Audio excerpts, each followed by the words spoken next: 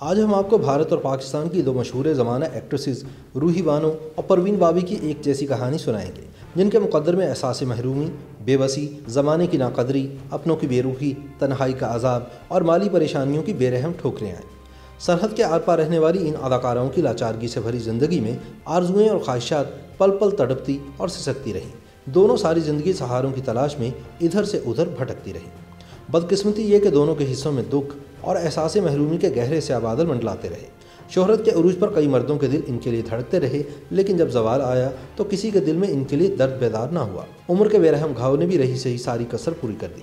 ये दोनों शोहरा आफाक खवतिन आहिस्ता आहिस्ता तनहा होती गई और जब इन्हें नफसियाती बीमारियों ने घेरा तो खौफ और कर्ब ने इनके दिल के वैरान आँगन में जड़ें पकड़ना शुरू कर दी। रियासत जूनागढ़ के बॉबी शाही खानदान में आँख खोलने वाली परिचेहरा परवीन मोहम्मद अली बॉबी ने शोहरत का सफ़र इंतहाई मुख्तर अरसे में तय किया। हैजान खेज अंदाज ही नहीं गैर मामूली अदाकारी ने भी इन्हें पलक झपकते में बॉलीवुड की कामयाब फनकाराओं की फहरिस्त में ला खड़ा किया। पंद्रह बरस के फिल्मी करियर में पचास फ़िल्मों में हीरोइन का किरदार निभाया। हर अदाकार के साथ काम किया, लेकिन अमिताभ बच्चन के साथ जो काम किया, वो लोगों के दिलों में घर कर गया। वो अमिताभ बच्चन की मजबूर दीवार कालिया, अमर अकबर एंथनी, शान और महान जैसी सुपर डुपर हिट फ़िल्मों की हीरोइन बनी। क्या ये एजाज़ कम नहीं था कि अमरीकी जरीदा टाइम के सरवर्क पर इनकी तस्वीर शाया हुई? ऐसे में प्रवीण बॉबी के दिल का पंछी, कभी महेश भट्ट की डाल पर बैठा तो कभी डैनी तो कभी कबीर वैदी की। अपने वक्त की bold and beautiful Parveen Babi सच्चे प्यार की तलाश में दर बदर की ठोकरें खाती रही। फिर एक वक्त ऐसा भी आया, जब हर सहारा तिनके की तरह कमज़ोर साबित हुआ तो एहसास महरूमी के साय और गहरे होते गए। फ़िल्में फ्लॉप होना शुरू हुई तो वो हिदायतकार जो परवीन बॉबी की एक अदा पर फिदा होने को तैयार होते थे, अपनी राहें बदलना शुरू हो गए। इन हालात में परवीन बॉबी ने फ़िल्मों से आर्जी रहती हुई इख्तियार की और वापस भी आई, लेकिन सब कुछ बदल चुका था। वो पेश मंज़र से पस मंज़र में चली गई थी। फ़िल्मों में काम ना मिलना और फिर लोगों की बेरुखी ने इन्हें शीजोफ्रीना नामी मर्ज में मुबतला किया। ये इसी बीमारी का असर था कि इन्होंने अमिताभ बच्चन के खिलाफ अदालत का दरवाज़ा तक खटखटा दिया। परवीन बॉबी ने इल्ज़ाम दागा कि अमिताभ इनकी जान के दुश्मन हैं। कई हफ्तों तक चलने वाली इस अदालती कार्रवाई में परवीन बॉबी खुद तो माली बहरान से ज़रूर दो चार हुई, लेकिन अमिताभ बच्चन को मुजरिम साबित न कर सके। मुड़कर एक बार फिर पुराने दोस्तों की तरफ़ देखना चाहा तो वहाँ दूर दूर तक कोई नहीं था। इनमें से एक महेश भट्ट ने बाद में अर्थ और वो लम्हे बनाकर अपनी कोताहियों का कफारा अदा करने की कोशिश की। ताहम शादीशुदा महबूब चाहे वो कबीर वैदी हो या डैनी और या फिर महेश भट्ट, इस अदाकारा के साथ ताल्लुक़ को कोई कानूनी रिश्ता देने को तैयार ना हुआ। परवीन बॉबी ने इस हकीकत को जान लिया कि वो इन सब के लिए सिर्फ़ वक्त गुजारने की शायद थी और यही गम इन्हें नफसियाती और जहनी अमराज से मजीद करीब करता चला गया। दीगर बीमारियों ने आन घेरा तो परवीन बॉबी ने मैनोशी और दवाइयों के ज़रिए सब कुछ भूलने की नाकाम कोशिश की। फिर 22 जनवरी सन 2005 को मुंबई के फ्लैट में गुमनामी की ज़िंदगी गुजारते हुए अचानक पुरस्कार तौर पर मौत की नींद सो गई। कैसा अलमिया है कि अपने दौर की इस बड़ी अदाकारा की मौत की खबर फ्लैट से उठने वाली बदबू ने दी। पोस्टमार्टम के ज़रिए मालूम हुआ कि परवीन बॉबी तो दो दिन पहले ही चल बसी थी। कैसी सितम जरीफ़ी है कि हर महफिल की जान समझी जाने वाली परवीन बॉबी के आखिरी सफ़र में बॉलीवुड सितारों ने इन्हें तनहाई का दुख दिया।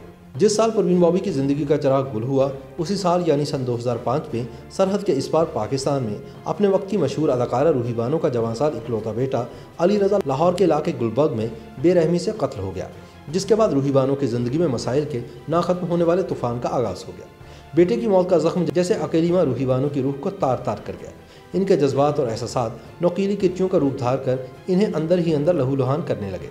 चंद माह बाद इनको अपनी वालदा की सोख तलाश मिली तो जैसे इनकी दुनिया बिल्कुल ही वीरान हो गई।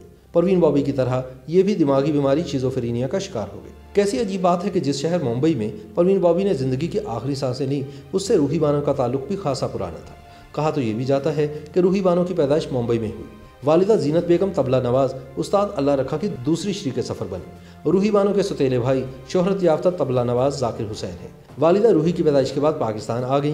पचास के करीब ड्रामों में काम करने वाली इस खूबरू और मिसाली अदाकारा ने एक मोहब्बत सोफसाने जर्द गुलाब, कला कहानी, पक्की हवेली और किरण कहानी जैसे लाजवाल ड्रामों में काम किया। शोहरत का ये सफ़र इन्हें फ़िल्मों की तरफ़ भी लाया, जब ही इनके दामन में दुल्हन एक रात की दिल एक खिलौना, खुदार मोहब्बत और टीपू सुल्तान जैसी यादगार फ़िल्मों का तोहफा समाया हुआ था। शोहरत के सफ़र में आँखें बिछाए परस्तार प्रोड्यूसर्स और अदाकार बैठे रहते थे। लेकिन कामयाब अजदवाजी ज़िंदगी ना होने का एहसास इन्हें दुख और रंज की तस्वीर बनाता चला गया।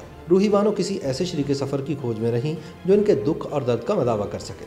फिर जब इनके अरूज का सूरज गुरूब होने लगा तो टीवी ड्रामे क्या, अदाकारों और प्रोड्यूसरों ने भी इन्हें अपनी ज़िंदगियों से निकाल बाहर फेंका। उजड़े उजड़े बाल चेहरे पर झुरियाँ फटे पुराने सीधा बदबूदार कपड़े और बहकी बहकी बातें जैसे रूही बानों की शनाख्त बन गई।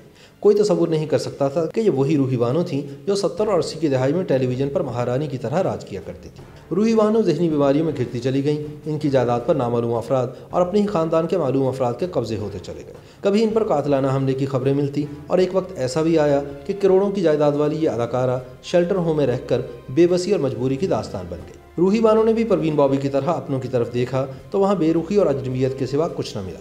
फिर ये इतला मिली कि वह सब कुछ छोड़ छाड़ कर बहन के पास तुर्की चली गई और फिर 25 जनवरी सन 2019 को तुर्क शहर इस्तंबुल के अस्पताल में प्राइड ऑफ़ परफॉर्मेंस का एजाज़ रखने वाली रूही बानो रूह पर लगने वाले कई जख्मों के बायस खामोशी से हमेशा के लिए आँखें मौत कर सो गई दुख और अफसोस की बात तो यह है कि रूही बानो की मैयत भी पाकिस्तान वापस न लाई जा सकी और इनको इस्तंबुल में ही दफन कर दिया गया। परवीन बॉबी हों या रूही बानो दोनों अपने पीछे बस ये पैगाम छोड़ गई कि फ़न की ये दुनिया सिर्फ़ और सिर्फ़ चढ़ते सूरज की पूजा करती है। यहाँ हर रिश्ता और हर ताल्लुक सिर्फ़ उस वक्त तक कायम रहता है, जब तक शोहरत की देवी मेहरबान हो। उधर इस देवी ने आँखें बदली, उधर सारी दुनिया तोता चश्म हो जाती है। YouTube पर गूगली न्यूज़ देखने के लिए YouTube.com की सर्च बार में गूगली न्यूज़ टीवी टाइप करें। गूगली न्यूज़ के पेज पर सुर्ख रंग के सब्सक्रिप्शन वाले बटन पर क्लिक करना ना भूलिए। YouTube पेज पर अपलोड होने वाली वीडियो से बाखबर रहने के लिए बेल आइकन पर क्लिक कीजिए। आपको हर नई वीडियो के बारे में नोटिफिकेशन मौसू हो जाएगा।